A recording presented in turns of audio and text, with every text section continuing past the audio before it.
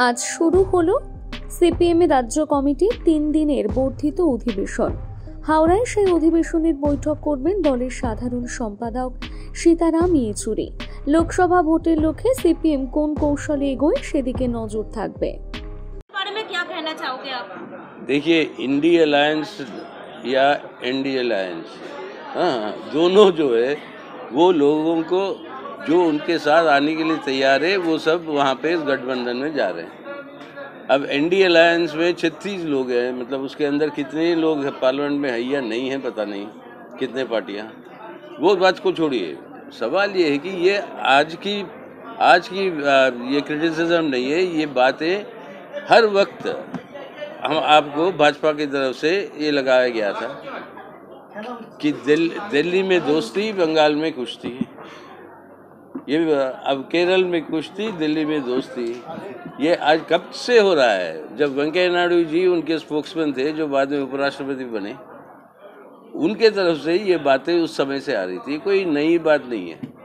तो इसके अंदर कोई जवाब देने की ज़रूरत नहीं है, जवाब तो जनता ही दे चुकी है पहले, फिर वही करेगी। पार्टी वर्कर में, जो आप लोगों के पार्टी वर्कर में जो कंफ्यूजन है, जो जो लोग ग्राउंड लेवल में काम करता है टीएमसी के टीएमसी को लेके आप लोगों का जो प्रिंसिपल, वो क्या है?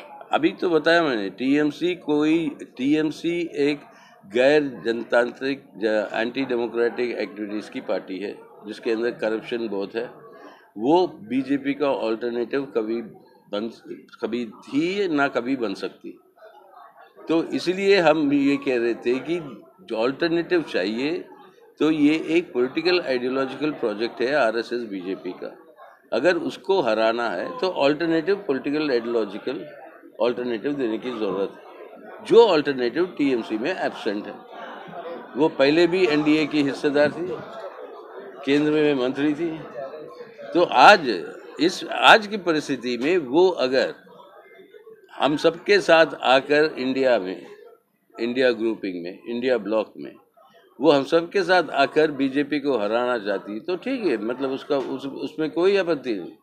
लेकिन बंगाल के अंदर हम समझते हैं कि बीजेपी के लिए ऑल्टरनेटिव है, वो एक वो लेफ़्ट फ्रंट और उनके एलाइज टीएमसी कभी ऑल्टरनेटिव नहीं बन सकती। लेकिन टीएमसी के ऊपर ममता बनर्जी के ऊपर आप लोगों का भरोसा है? क्योंकि पार्लियामेंट में कई बार आपने खुद भी बताया कि ये देखा गया है कि जब वोटिंग के बारे में वोटिंग का टाइम आता है तो फिर टीएमसी का दे- लोग देखें। रहता है। देखेंगे कि वो कब तक रहेंगे हमारे साथ नहीं रहेंगे तो जनता देगी जवाब।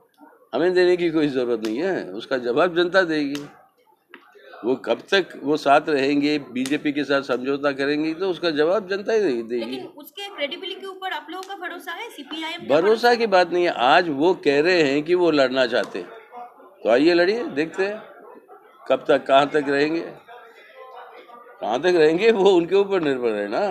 यहाँ पे भरोसा भरोसा के लिए कोई भी पार्टी किसी भी समय वो कुछ भी कर सकते हैं। वो देख चुके हैं देश की राजनीति में। को लेके पिछले दिनों में जो बवाल खड़ा हुआ है किसका? महुआ मोइत्रो को लेके जो बवाल खड़ा हुआ है जो बात ये बात बोल बोला जा रहा है निशिकांत दुबे ने वो पार्लियामेंट्री एथिक्स कमेटी में अ, अ, अ, जो कंप्लेन वो कंप्लेन भी किया। इसको लेके आपका टिप्पणी क्या है? आप, आप क्या मान? देखो मेरे को हँसी इस बात पे आ रही है तक कम से कम दस साल से ज़्यादा मैं एथिक्स कमेटी का मेंबर था राज्यसभा। दस साल से ज़्यादा। शायद चार पाँच बार को छोड़कर दस साल में कभी मिली नहीं कमेटी वो अक्सर वो इतनी जल्दी मिलती नहीं। अब जिस तरीके से ये कंप्लेंट आया और फ़ौरन वो कमेटी की बैठक हो गई दो दो बैठक हो गई तो इससे जो है आश्चर्य हो रही थी उसलिए थोड़ा हँसी आ रही थी मुझे। नहीं से आश्चर्य हो रही थी कि इतनी जल्दबाजी में कर क्यों रहे? इसलिए कर रहे, क्योंकि अदानी साहब इन्वॉल्व है। सवाल वो है अदानी साहब की इन्वॉल्वमेंट है तो इसलिए एथिक्स कमेटी को आना पड़ा। तो करिए जाँच, हमें कोई आपत्ति नहीं, लेकिन जाँच करिए तो सही ढंग से करिए। जैसे होना चाहिए, हर कमेटी के पद्धति होती है। हम समझते कि तकरीबन आठ साल मैं पार्लियामेंट्री कमेटी का चेयरमैन रह चुका हूँ। तो उसके एक नियम है, किस तरीके से ये कमेटियाँ चलती है, किस तरीके से एविडेंस मांगा जाता है, किसको कब बुलाया जाता है ये सब के लिए लेड आउट प्रोसीजर्स है। उनको फॉलो करिए आप। तो जो क्या कह रहे हैं, हम तो इन सब कमेटियों में रह चुके प्रिविलेजेस एथिक्स हमारी स्टैंडिंग कमेटी के चेयरमैन तो इन सब के लिए actually frame a set of rules frame you know follow them this is not committees is not meant for harassment committees are meant for probing investigating and finding out what really happened comrade BJP political tool की तरह इस्तेमाल कर रहा है। ममता बनर्जी खुद दो तीन दिन पहले ये एक ही सेम कंप्लेन किया कि ईडी सीबीआई इस स्टेट में मंत्रियों के खिलाफ पॉलिटिकल टूल के हिसाब से इस्तेमाल कर रहा है ईडी और सीबीआई को जहाँ यहाँ का फ़ूड मिनिस्टर वो खुद जेल के अंदर है। एजुकेशन मिनिस्टर पहले ही जेल जा, जा चुका है। फ़ूड मिनिस्टर के खिलाफ देखिए हम ये नहीं कह रहे कि ईडी अपना काम ना करें। हम कह रहे हैं कि जहाँ पे करप्शन है, उस करप्शन को पकड़िए ज़रूर। हमारी पूरी समर्थन रहेगी। देश के अंदर कहीं पर भी ये करप्शन होना नहीं चाहिए। लेकिन करप्शन के नाम पर हैरस कर रहे हो तुम अपोजिशन को, वो जो है हमारे लिए आपत्ति है। अगर करप्शन है तो उसको साबित करो ना कोर्ट पे ले जाओ कन्विक्शन करवाओ। अबे कौन रोक रहा है को? तो अगर वो सही में करप्शन है, वो केस बनाओ रजिस्टर करो कन्विक्ट कराओ। लेकिन वही लोग जब बीजेपी में चले जाते हैं तब ये केस ड्रॉप हो जाता है। ये मतलब क्या है? ये है दुरुपयोग। ये हम कह रहे हैं। ये क्या दो हज़ार चौबीस लोकसभा चुनाव को लेकर के ऐसा किया जा रहा है क्या? विरोधी- विरोधियों को खत्म करने के लिए ऐसा किया जा रहा क्या? वो एक मकसद है। अगर चुनाव ना भी हो तब भी करेंगे ये कि विरोधी पार्टियों को कमज़ोर करें। देखिए तरीके वो कितने जगह पर आज एक नियम बना लिया बीजेपी ने। चुनाव जो भी जीतेगा स्टेटों में, सरकार बीजेपी बनाएगी। ये किया ना पहले, गोवा में किया, कर्नाटक में किया, मध्य प्रदेश में किया, नॉर्थ ईस्ट में कई जगह पे किया। चुनाव हारते हैं, लेकिन इस तरीके से काम करके, खरीद के, वो जो है सरकार बना लेते हैं। ये जनतंत्र का मज़ाक उड़ा रहे तो ये भी समझने की जरूरत है दुरुपयोग का मतलब ये है कि अगर आपके ऊपर केस लगा आज और कल आप बीजेपी में चले जाओ तो वो केस ड्रॉप्ड है হুম, এবং এ, পশ্চিমবঙ্গে আপনি যেটা বললেন যে তার বিরুদ্ধে লড়াই চলবে বিজেপির বিরুদ্ধে লড়াই চলবে এবং সর্বভারতীয় ক্ষেত্রে আপ- মানে মানুষের মধ্যে বা কোন- কর্মীদের মধ্যে এই নিয়ে কি কোনো প্রশ্ন আছে যে কেন আহ, জোটে ইন্ডিয়া জোটে আপনারা থাকলেন যেখানে মমতা বন্দ্যোপাধ্যায় আছে। আরে ইন্ডিয়া জুড়ে আমরা দেখলাম কি गवर्नमेंट অফ ইন্ডিয়া থেকে বিজেপি কে ডিসটেন্স করলো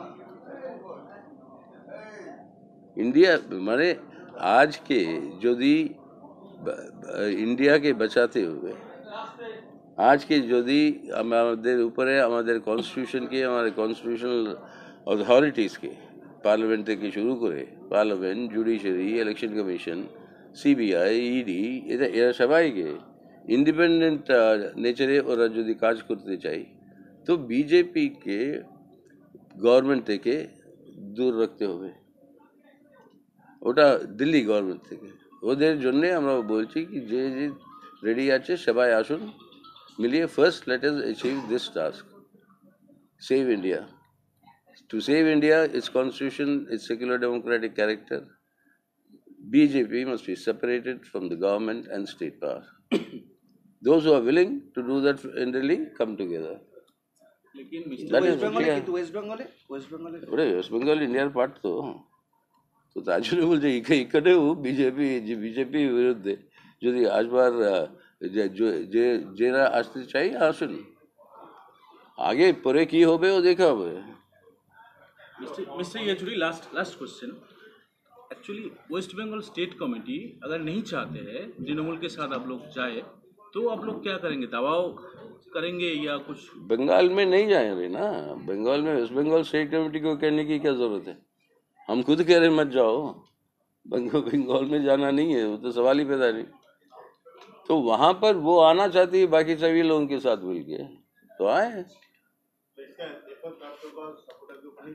अरे अरे, केरल में हमारे और कांग्रेस के बीच में लड़ाई है। सीधा सीधा। दो बार, पिछले दो बार असेंबली चुनाव में हरा है। पार्लियामेंट के चुनाव में 20 सीट है केरल में 20 में से 19 सीट कांग्रेस जीता, हमको हरा के। हम इंडिया में नहीं है क्या, कांग्रेस के साथ? तो सवाल यह है लार्जर इश्यू क्या है आपके पास? मतलब सीट अलायंस बंगाल में नहीं होगा ये नहीं बंगाल में नहीं। That is already been there that understanding that will continue Congress के साथ कांग्रेस के साथ तृणमूल का कोई जोट होगा? आपका क्या? हम कैसे बताएँ? ना बंगाल में वेस्ट बंगाल में वही वही कहीं पर भी हम कैसे बताए? हाँ हम कैसे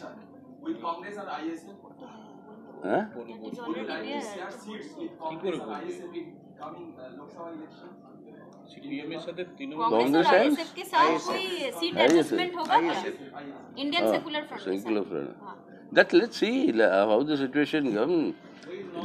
They go, they go till the parliament election comes. There's lots of water will flow in the Ganga. Hmm, so wait. well, I mean, don't jump the gun. Just you know.